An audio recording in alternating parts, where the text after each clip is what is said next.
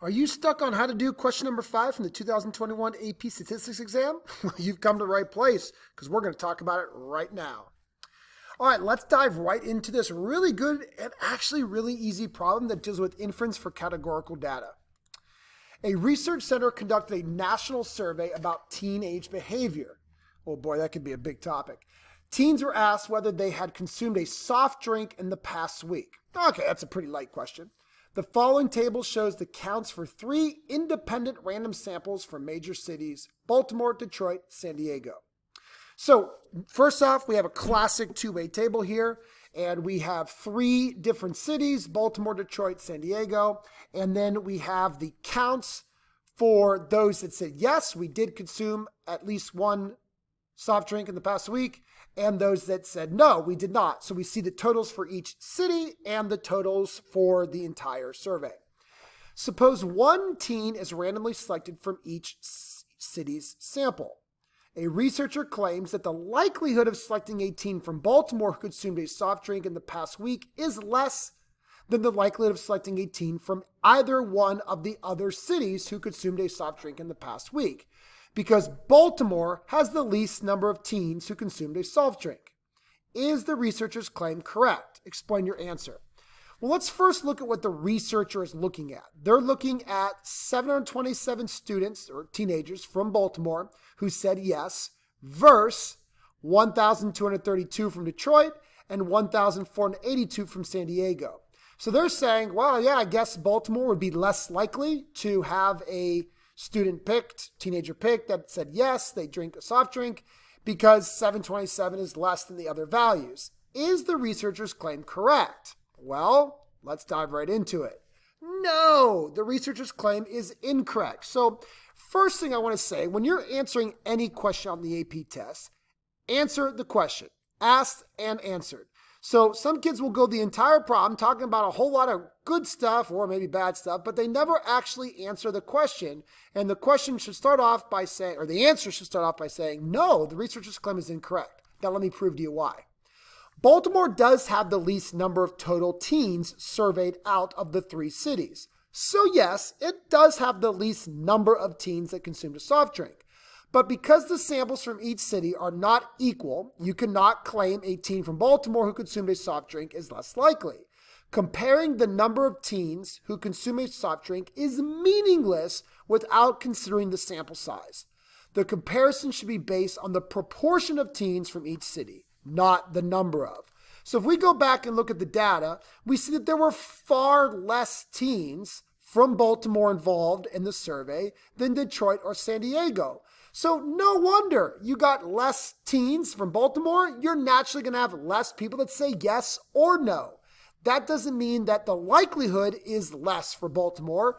To answer likelihood type questions, we got to take into consider the size of the sample. So that is where comparing proportions is so much more fair when you have unequal sample size. So that's what I did down here to actually show you that no, Baltimore is actually more likely. So it's actually conditional uh, probabilities here because we're looking for the probability that somebody said yes, they have a soft drink out of only the Baltimore students. So if we only look at the 904 Baltimore students, 727 said yes, that's about 80%. Of the Detroit, again, of the Detroit, that's the condition, only looking at the Detroit teenagers, we found about 74.1% that said yes, they had a um, soft drink. Of the San Diego students, that said yes to a soft drink was only 65%. And, and even if we look at Detroit and San Diego together, like let's just like Baltimore versus everybody else, we're still looking at a total of only 68% from both Detroit and Baltimore who said yes to soft drink. So my point is, is actually Baltimore students or Baltimore teenagers are more likely to have selected yes, they've had a soft drink in the past week or so. Again, point of this question is it's not fair to just simply compare how many. You need to compare the proportion. So now they follow it up with, hey, all right, now that we hopefully understand proportions, let's construct a segmented bar graph to actually show those relative frequencies. And remember, relative frequencies is really just a fancy word for proportions. All right, So we have three bars, one for Baltimore, Detroit, and San Diego. So for Baltimore's bar, we're only allowed to look at Baltimore. So we're only going to look at the 907 teenagers that were in the Baltimore sample. Oh, excuse me, 904. I apologize. Of those 904, we would look at the proportion that said yes. So we would do 727. I already did this on the previous slide. But anyway, 727 out of 904.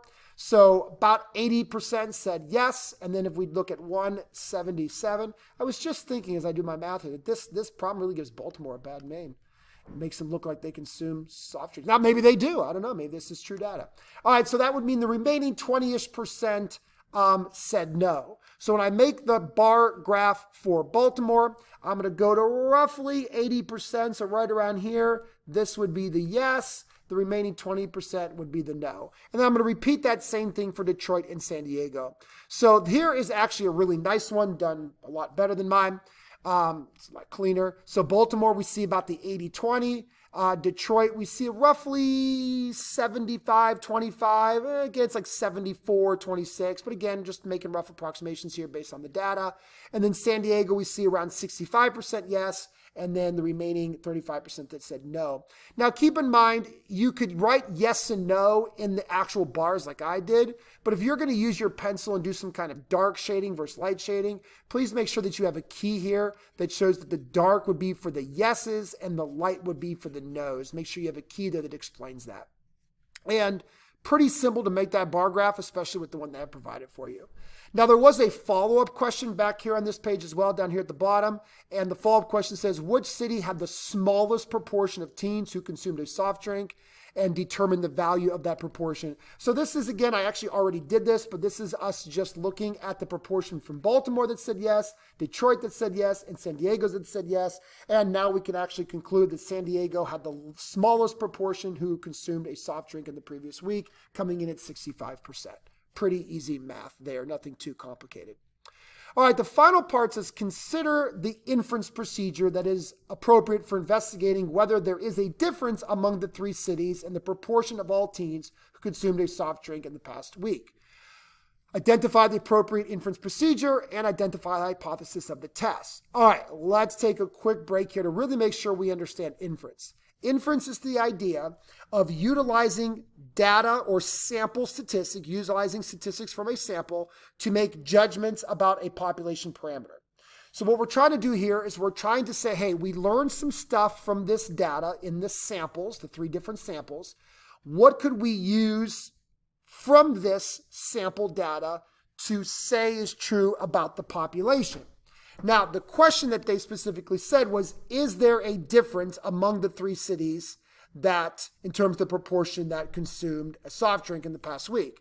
Well, let's not be blind here to the fact that in our data, in our samples, there was a difference. But I hope somebody has taught you well that just because you see a difference in some samples doesn't mean there's guaranteed to be a difference in the greater populations. So, yes, we saw 80 versus 70 versus 65% among these three cities, but the truth could actually be that the three cities are all the same, and we're not seeing three numbers that are all the same because samples vary. So that's the idea of inference is actually making that decision. Is there a difference or is there not a difference? in the population proportions. We already know there's a difference in our sample proportions, but it's all about the true proportions from the cities. So the first thing I recognize is that I do have three different independent samples. So I cannot do a two sample test. Some kids might want to jump and say, oh, I'm going to do a, a, a two sample proportion test. I can't do that because I have three samples. I'm not just like if I was only comparing San Diego to Detroit, then I probably could do a two sample proportion test, but I can't when I got three samples. So this is going to have to be our friend chi squared. So this is a chi squared inference procedure because a chi-squared could look at multiple different proportions. It could not, it could look, you know, we could do a single sample if we only have one. We could do two samples if we have two. But for three or more, we got to go to a chi-squared test. So this is definitely a chi-squared inference procedure test. And there are three different types of chi-squared tests. This is a chi-squared test for homogeneity. And how I recognize that is for a couple things. One, it does say that I have three independent samples. That is a classic sign of a homogeneity test. And it did not specifically say, hey, is there uh, independence? You know, are is is this variable independent of that variable? That's a test for independence. And again, we're not looking at that, right? This is clearly three different samples. We're not looking at two different variables and trying to understand if the two variables are independent of each other. So that's the signs that this is a chi-square test for homogeneity. So the first thing I did was write that down. So since the data was collected from independent samples from the three cities, a chi-square test for homogeneity should be conducted. Now the second part is to give the appropriate hypotheses for the test. So the null would be status quo, no difference in the proportion. So I actually have two different options here for how you could say this. So here's one, and then here's the second one right here. So one option would be, no, there is no difference in the proportion of all teens who consumed a soft drink in the past week across the three cities. Another way of wording that would be the proportion of all teens who consumed a soft drink in the past week is the same. And again, that's what I mentioned earlier. Yes, our sample shows a clear difference between these three cities, but that doesn't mean that there is a true difference between the actual population proportions. So our null would be that no, everything's the same. There, yeah, there we see a difference, but there really isn't one. And that's going to be our null. So the null would be that the proportion of all teens who consumed a soft drink in the past week is the same across the three cities. Our alternative would be, again, two different options. One, there is at least one difference in the proportion of all teens who consumed a soft drink in the past week across the three cities. At least one of the cities is different than the other ones. Maybe two are the same, but the other one's different.